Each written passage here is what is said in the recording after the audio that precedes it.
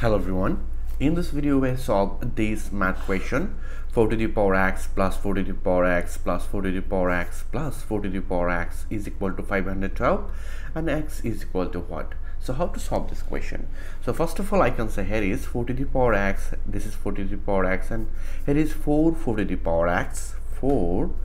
4 to the power x is equal to 512 then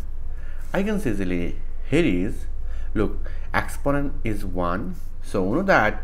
a to the power n times a to the power m is equal to a to the power n plus m. According to these tools i can say here is 4 to the power this exponent plus this exponent. So 1 plus x is equal to 512 then I can easily 4 it will be 2 to the power 2 times here is 1 plus x and we know that 512 it will be 2 to the power 9 then I can see easily here is 2 to the power 2 times 1 it will be 2